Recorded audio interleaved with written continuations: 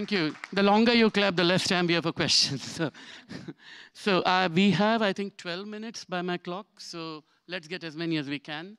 And what I think I'm going to do is take them in bunches of three and then go from one panelist to another. Please.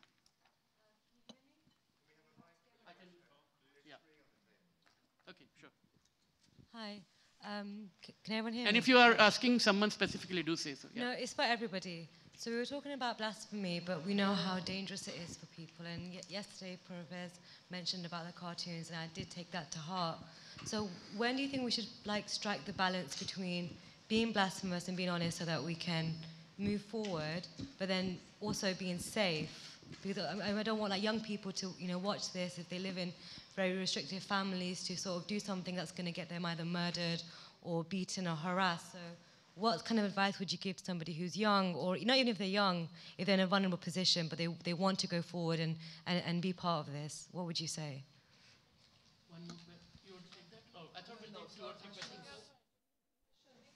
Yeah, can we have uh, one more question, please? Yeah. No. It's not specially a question, you know. I uh, I just want to precise something. For me, blasphemy, use this word of blasphemy, it's putting ourselves, you know, in the side of the religion. Because when we believe in civil laws, we cannot speak about blasphemy because blasphemy is for the people who believe in a religion. And for that, I think it's very important to, to speak in, eh, as a citizen of the world, you know.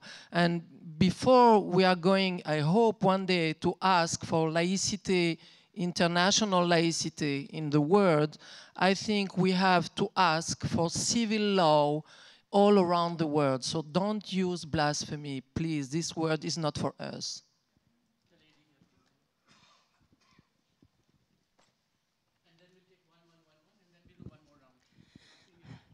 I totally agree. Blasphemy should not be, it's not our vocabulary, it's not universal vocabulary, but our opponents are smart enough. In Poland, we have, uh, it is not called blasphemy.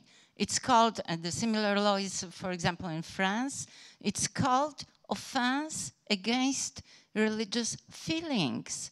Now, uh, so we have to be smart too. First of all, feelings could not, could not be offended. The person could be offended, but the, uh, the subject is always the same. It's religion, and that we have to fight. What I'll do is we'll go one by one from the left to the right, and then we'll take three more questions, and then let's see how. So if you can keep responses brief, yeah, yeah thanks. Just to, okay, so um, I know that I think there's some material floating around with my background. I was actually disowned by my parents. Um, it's been 10 years, and um, I'm very open about it now. But I questioned, I started questioning Islam from a very um, young age, and my parents had actually moved to the United States in the 70s. Um, so you would assume that they were the type of people that would be a little bit more open-minded, but they didn't um, see it that way, and they thought I was corrupted, that you know I wasn't pure, that I was a dishonor to their family. Um, so it's been 10 years on my own. So I put myself through college. Um, I just graduated from law school, newly minted lawyer, um, and that was something that I made a conscious decision to do, and it's scary it is i mean to this day i think i grapple with severe anxiety and a lot i've been in therapy for 10 years um, which i do recommend. But you know what i would say and this is something that i would like to work on long term is to come up with um, guidebooks and publications and speaking to let especially Muslim, ex-muslim women that are in these situations to have like a network for them to have a support system for them. I lucked out because i um, my university helped me quite a bit um, to transfer me over to an independent status, and then I qualified for a lot of grants um, to continue on. But I think there just has to be a safety net that we create as an alternative to the family safety net that's keeping them. Um, a lot of um, ex-Muslims in, in, in, these family situations. Um, and that's something that I would love to work towards. Um, and it's not just financial, I do think that it's um, psychological as well. So it's developing an alternate community, which I think we're doing here. I really do think we're doing here, um, and, and, and networking with each other so that we can, we can catch them before they fall. That's what I would recommend doing.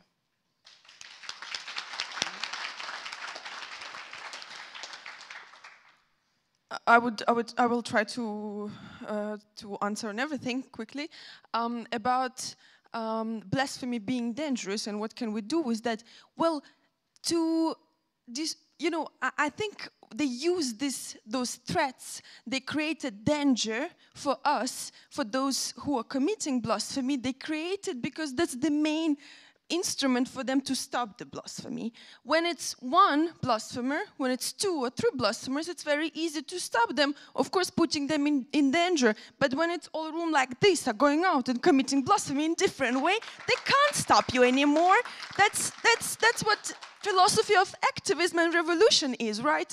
Uh, one person can inspire, but the main job has to be done by, by big community. And this is, yeah, this is what we have to do. And about blasphemy, um, as a word that we sh should not use um, because it has a bad meaning, I do agree, but I also agree that the meaning, the bad meaning, is because we, we, think so, because we also accept the point of view of religious institutions. They put a bad meaning in this word. For me, blasphemy is, is a celebration of freedom of speech, and I, have a I, I, I enjoy this word and I want to use it.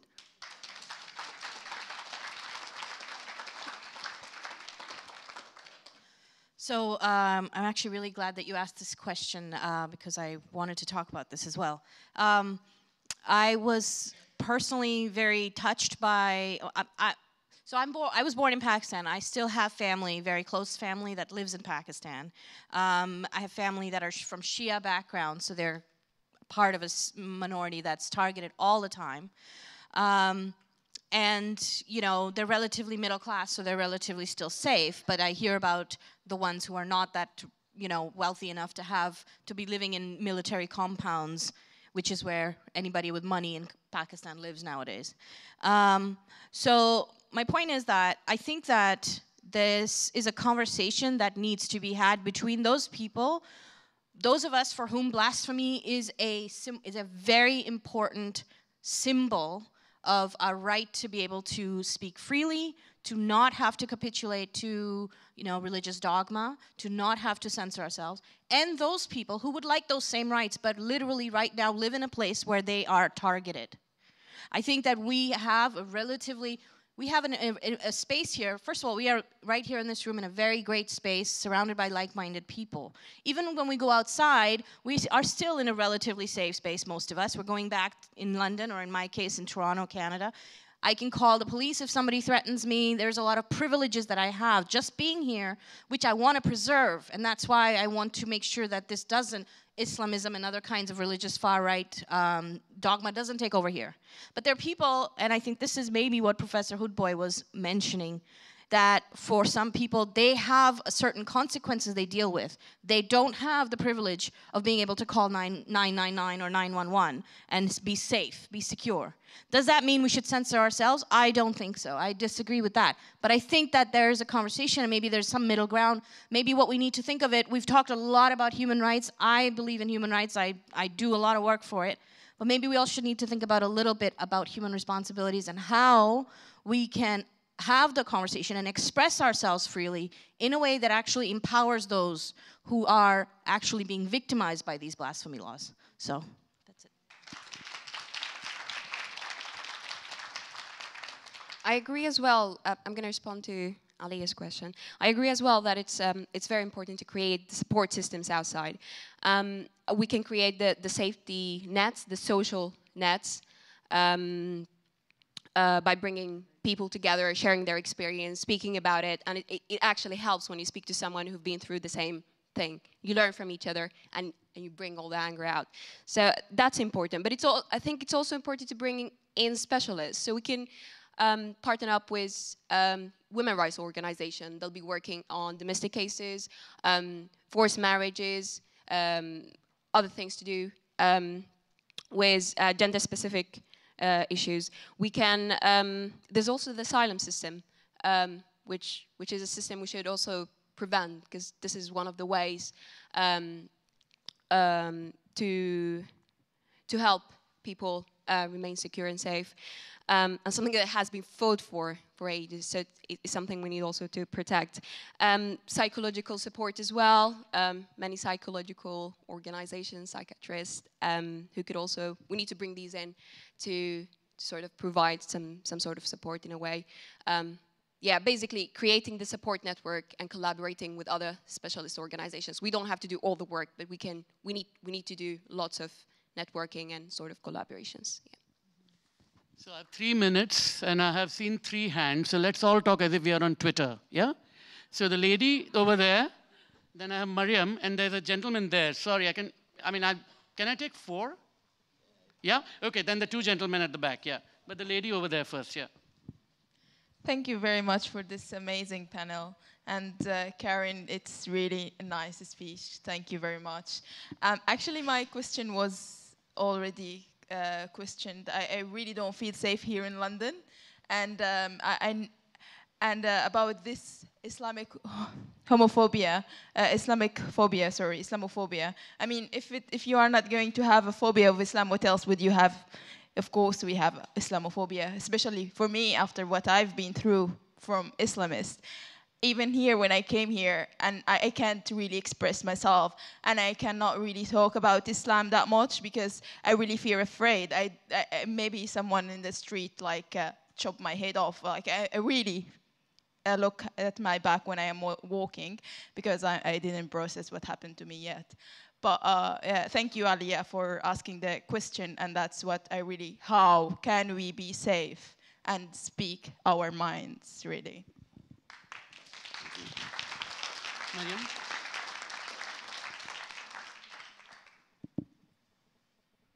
Um, hi, everyone. I just wanted to quickly uh, point to the importance of this discussion.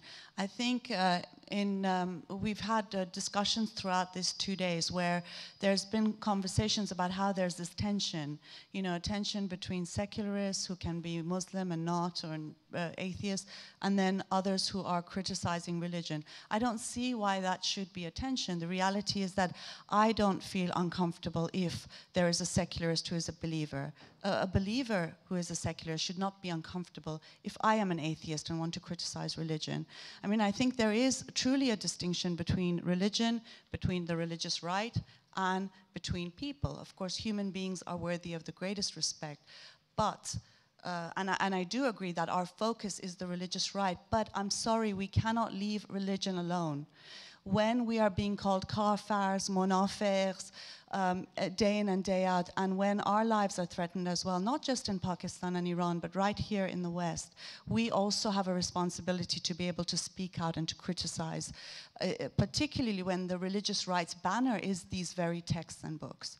And therefore, I think we have to, believing secularists have to give the space. And I think, in fact, the more that we push, the more blasphemy and apostasy we commit, the better it is for believers as well, because there are many believers who are being charged with apostasy and blasphemy in countries because Islamists and the religious right cannot tolerate dissent. It is us actually that are on the front lines as opening the space and pushing uh, this space open for believers as well. And therefore, we do expect a lot more support from believing secularists. Thank you.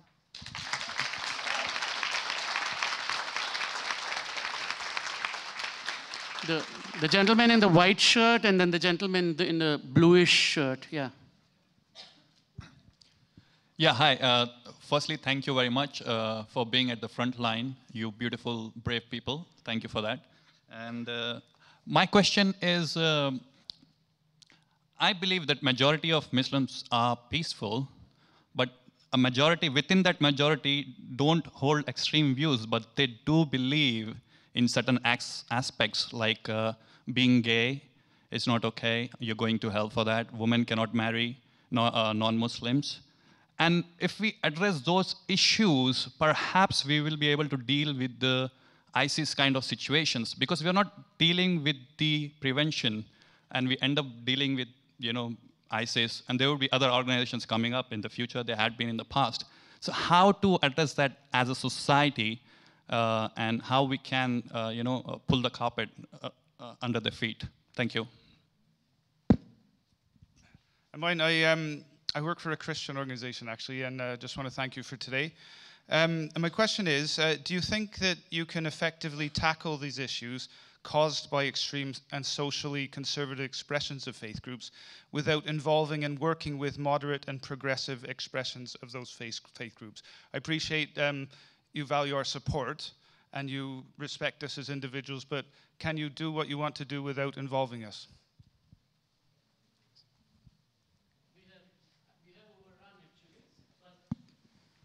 But what I think we are going to do is maybe two sentences or three sentences each, each from each of us for one last word, weaving in some of these very important questions. Thank you.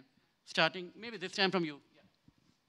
Okay, I'll make a, um, a quick comment on the contribution from here. So I think one of the other things um, that could feed into the discussion here about what people can do um, not feeling safe here. Um, uh, Kiran mentioned the, the police and how, how we're privileged. One of the issues we need to work with, um, we, need, we, need to, we need to get the police to understand the seriousness of the issue. Because I, I, know myself and many others have been uh, reporting this to the police. They have no, well, we can make a couple of assumptions. Either they have no ex, um, experience dealing with, with such cases, or they don't want to get involved.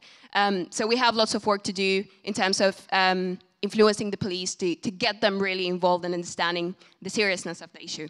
Um, that's just, just a quick thing to, to add to um, the support systems. The, the other thing, a response um, to the gentleman over here. Um, yeah, I can't see I can't see a problem with working with secularists from whatever background. If we all agree on the same um, main um, foundations, I can see a problem. There are lots of other organizations, not only Christian. There's the British Muslims for Secular Democracy here that also promote secularism. They're they're they're still having their their private their view their religious views as a private view. Um, so I can see a problem with partnering with other organizations as long as everyone agrees on the uh, main foundations. yeah, I want to say um, uh, thank you to everybody who's asked and commented. I, I'm, I'm going to respond also to the person from, uh, from the Christian publication. Uh, I think that we can work with secularists. I agree with Nahla.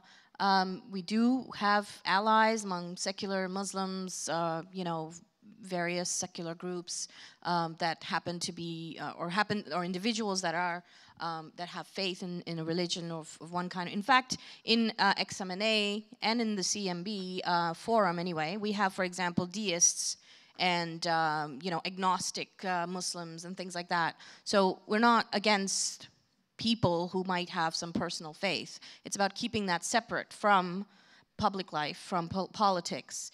It's also about um, not having to censor ourselves and not having to necessarily, um, you know, of course, it should come with a sense of uh, civil discourse. But I think that, uh, for example, I've had, I've known people who are progressive Muslim uh, you know, who have everything else in common with, except for the fact that I don't believe in their religion. Uh, really not like the fact that I don't believe in their religion, and that's the one thing, and that you know that they just cannot accept that. Uh, and I, even though we never would have that conversation, but that somehow is an offensive thing that I'm an ex-Muslim. So I think that we it has to go both ways, and we have to find common ground, and I think it's possible. Um, so I think uh, I hope to, I hope so. I'll answer with that. Again, shortly on everything about um, danger and uh, what to do with that, well, I think that we should just stop to expect that it will not be dangerous. It, it is dangerous, right? And this is why we, we understand that it's dangerous, and this is why there is such a big to do it.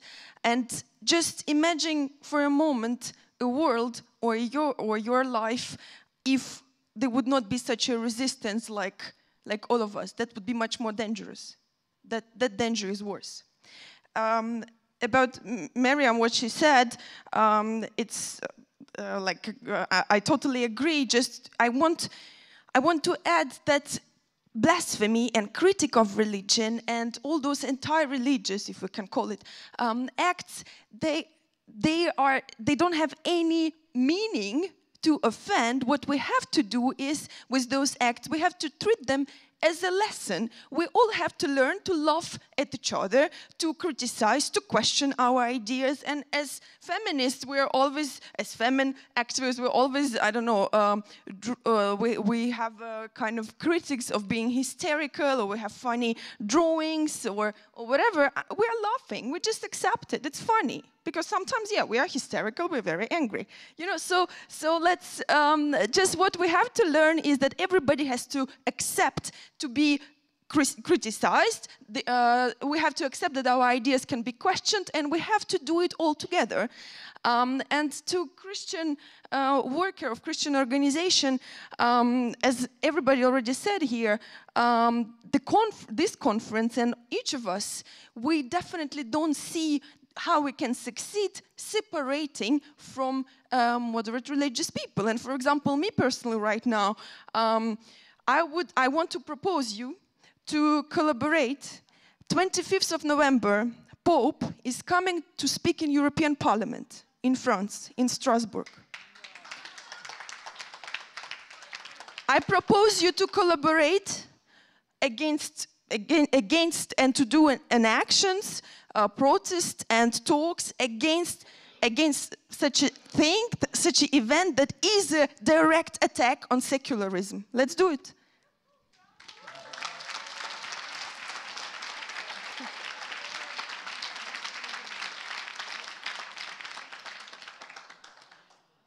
Okay, so I'm going to start with the first question about how do we, how do we, what was, I think you said something about pulling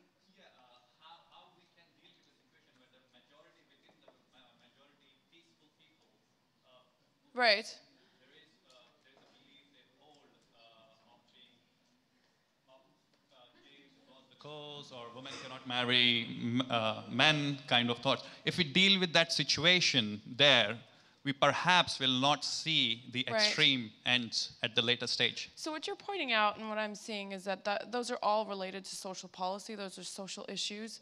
And I might get a little more academic here again. But um, what I've noticed, and this is from the studies mostly in international affairs, um, when it comes to democracy um, and democratic state systems, the state models, what, what differentiates them from other types of theocratic or, you know, um, like I'm trying to, to, to, like a one set mind sort of state model is um, really the concept of civic engagement.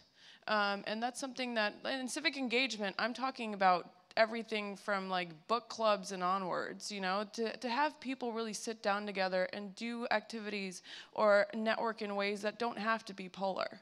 And the more you get to know your neighbors, which is something that I've noticed is a big deal in the United States and why I think Muslim communities are very different in the United States. I think a lot more integrated, not assimilated, but integrated than they are um, in the United Kingdom and, and to an extent in Canada as well, is that we are a community we're like you know you're in Houston versus you know East London. There's a huge difference, even though they all have the same sort of belief systems in a lot of ways. There's a lot of Muslims living in East London. There's a lot of Muslims living in Houston. What's the difference there? I think that it's the civic engagement. I think it's the fact that in the United States, to an extent, they do overlap, all the communities overlap regardless of belief. So I think that's something we really should push, um, or else you're going to see this sort of schism between these groups that becomes very black and white.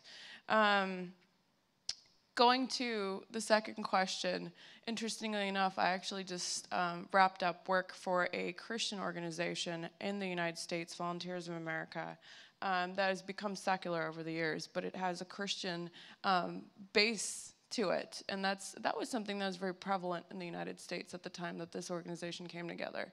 Um, I think it does require collaboration. I don't think it's possible to move forward with a secular model without recognizing that there's a diversity of beliefs, whether they're atheists, whether they're religious, um, and that for me, the issue is social policy. So if we can work together through civic engagement and through other means um, to make sure that social policy works for everybody, then I don't really care what you are believing in. I don't care if you're, you know, astrologist or whatever. That's something that you keep to yourself. But as long as we can agree that we all need to be able to have laws that work for all of us.